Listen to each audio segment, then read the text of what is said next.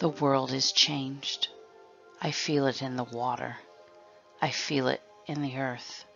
I smell it in the air. Much that once was is gone, for none now remember it, and some things that should not have been forgotten were lost. It began with the forging of the great rings.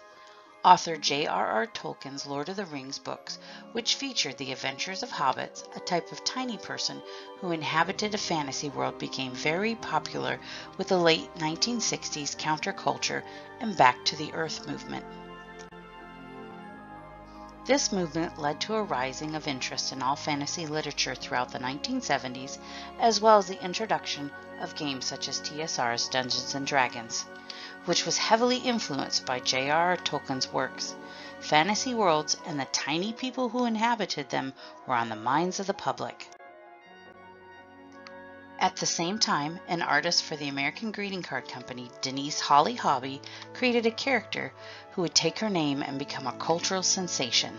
The girl would be dressed in patchwork, pioneer style clothes, and the imagery would harken back to a more pure, simpler time. And so it was that the seeds of what would become a lavish secret garden of the 1980s merchandise was planted. And it was here, at the dawn of the 1980s, that all of these nearly subconscious concepts would merge. For the time would come when those who were into hobbits would shape the toy and product lines of an entire decade. They only needed a bit of fertilization from an older concept that was already popular across the Atlantic Ocean.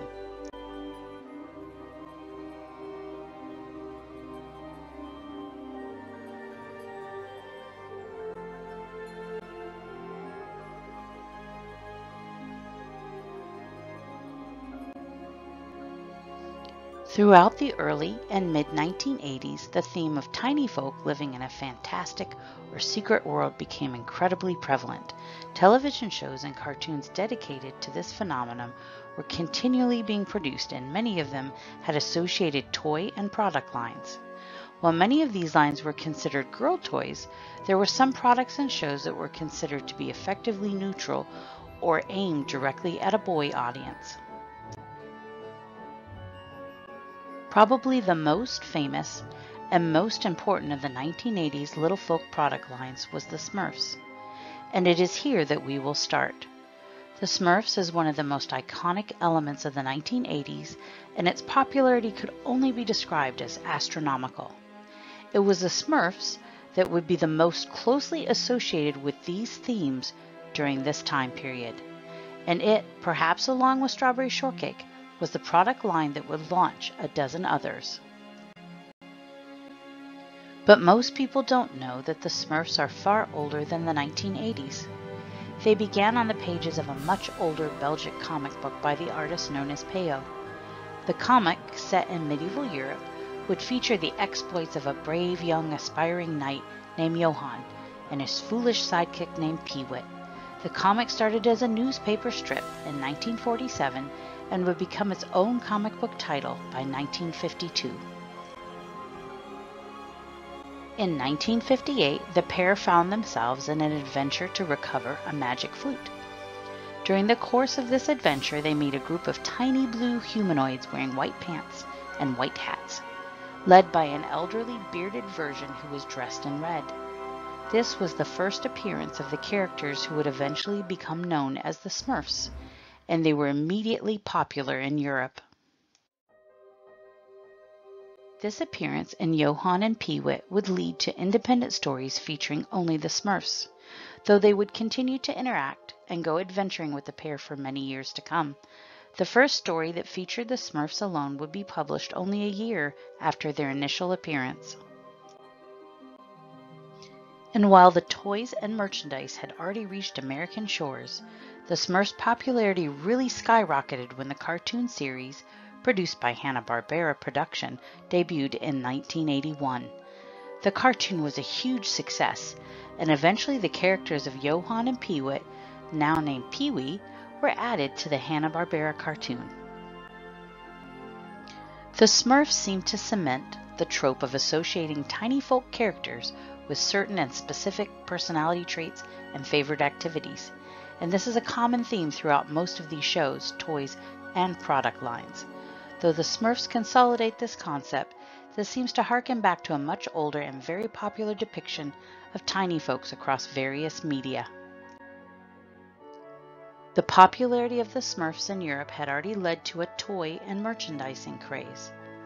The toys were brought to the United States by 1976, and the cartoon led to supercharging the already popular product line. They were most well known for their tiny, 2 inch tall PVC figures that were and still are created by the German company Schleich. The Smurf figures were depicted in hundreds of different activities, both mundane, such as baking, sleeping, or painting, or fantastical, such as being a pirate, a wizard, or a superhero. They were even shown in anachronistic activities such as playing various modern day sports or as astronauts. Hundreds of different Smurfs and hundreds of different activities were produced. This was likely one of the reasons that the Smurfs were assigned names and personality traits based on favorite activities in the Hanna-Barbera cartoon. Eventually, their main foe, the evil wizard Gargamel, was given a figure as well as two other important characters.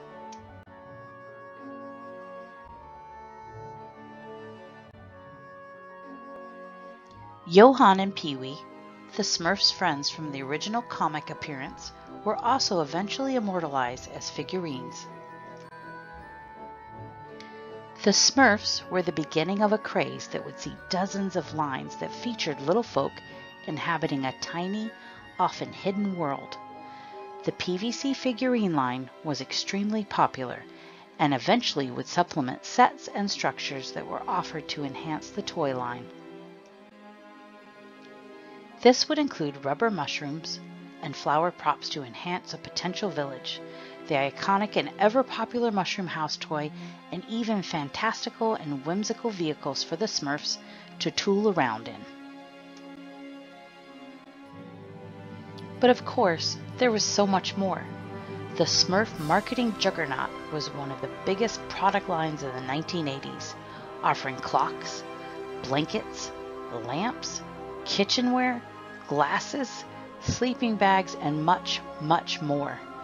It can't be understated, as the Smurfs would go on to become one of the biggest icons of the 1980s, and their popularity would inspire many more toy and product lines, as well as cartoons, as the 1980s progressed.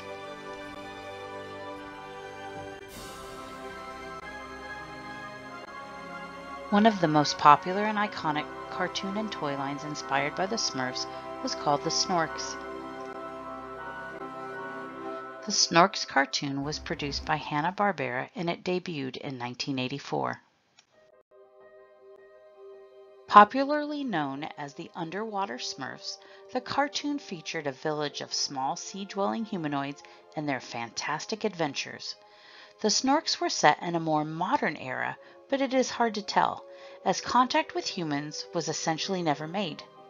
The story of the Snorks is interesting and quite involved, but it is needless to say they were created to compete with their little blue forebears. The Snorks were a relatively popular cartoon series. A full line of toys and other products were created to capitalize on that popularity. This included a whole range of small PVC figurines very similar to the Smurf toys. And like the Smurfs, the Snorks would also offer a line of plush toys. You will see that this was pretty standard for toy lines of this time. The Snorks may have been inspired by the Smurfs, but the cartoon and toys were popular enough to last several years. But there were many lines that were directly inspired by and closely associated with the Smurfs. There was even a toy line created by the makers of the PVC line of Smurf toys that were extremely close in aesthetics and style. They were called the Astro Sniks. Where the Snorks were the Sea Smurfs, Astro Astrosnicks were the Space Smurfs. They were more popular in Europe than in the United States as they were relatively rare this side of the Atlantic. If the kids of the United States in the 1980s were introduced to the Astro Sniks, it was probably through one of the several promotions by McDonald's, when the Astro Sniks were included as prizes in Happy Meals.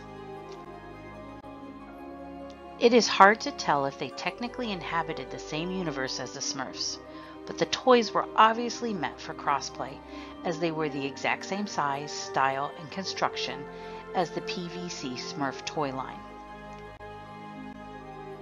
While the product line was not near as popular as the Smurfs, or even the Snorks, they did have some diversity to the toy line.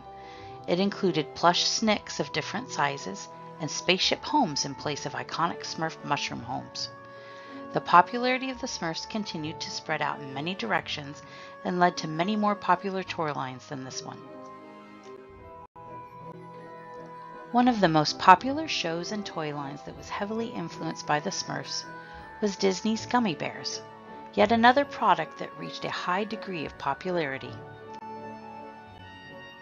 The Adventures of the Gummi Bears was an afternoon or Saturday morning cartoon show produced by Disney that would become one of the earliest members of the famous Disney Afternoon. It was released in 1985 and featured small magical bears who lived in the medieval age in a hidden glen alongside but removed from the world of human beings. I think maybe we've heard this one before.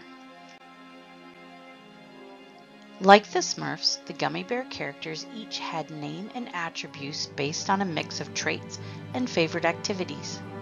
Obvious similarities aside, the Gummi Bears proved to be very popular and receive an extensive product and toy line of their own, mostly produced by Fisher Price.